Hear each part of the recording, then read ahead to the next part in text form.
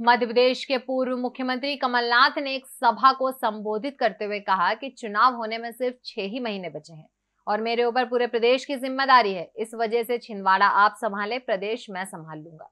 दरअसल पूर्व मुख्यमंत्री कमलनाथ चौरई में आयोजित कार्यक्रम में शामिल हुए थे, जहाँ उन्होंने कार्यकर्ताओं को संबोधित करते हुए कहा कि चुनाव होने में सिर्फ़ छह ही महीने बचे हैं। तो ज़ाहिर सी बात है कि भाजपा के लोग चुनाव में आपको परेशान करेंगे। आप बिल्कुल भी ना घबराएँ। उनकी हरकतों की खबरें मुझ तक पहुंचाएँ। मैं हमेशा आपके साथ खड़ा रहूँगा। आप सभी कार्यकर्ता नींव के पत्थर हैं। इस चुनाव में आपकी सबसे बड़ी ज़िम्मेदारी छिंदवाड़ा संभालने की है, क्योंकि मुझे प्रदेश संभालना पड़ेगा। नाथ ने कहा, भाजपा सिर्फ़ हमें छिंदवाड़ा तक ही सीमित रखना चाहती है। लेकिन मुझे भरोसा है कि आप जैसे कार्यकर्ताओं की मेहनत के दम पर हम छिंदवाड़ा भी जीतेंगे और प्रदेश भी जीतेंगे।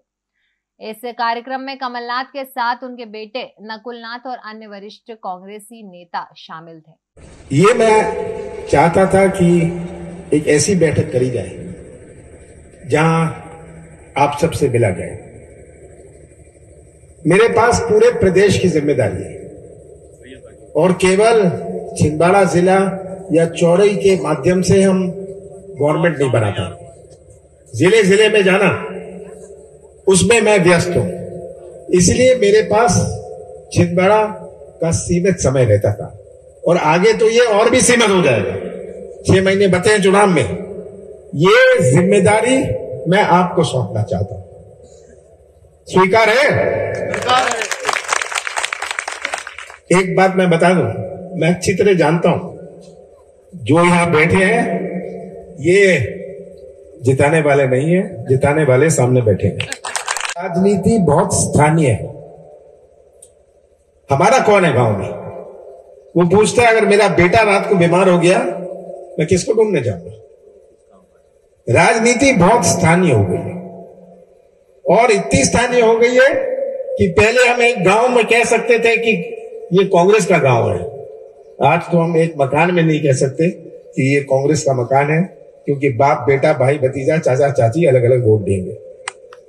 तो जब तक हम सब तक सब के पास ना पहुँचे।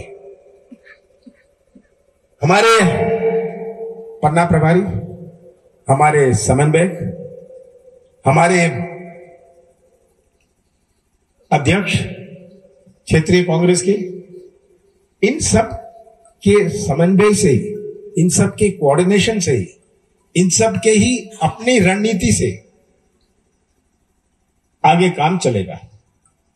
और एक रणनीति सब जगह लागू नहीं होती। ये भी आप जानते हैं। यहाँ की रणनीति अलग वहाँ की रणनीति अलग।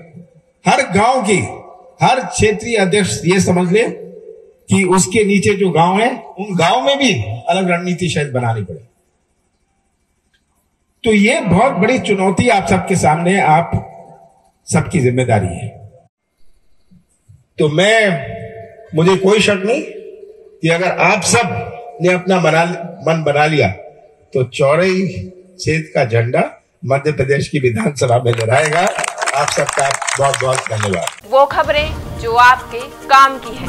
वो खबरें जो आपके लिए ज़रूरी है। हर आम और खास से जुड़े मसले।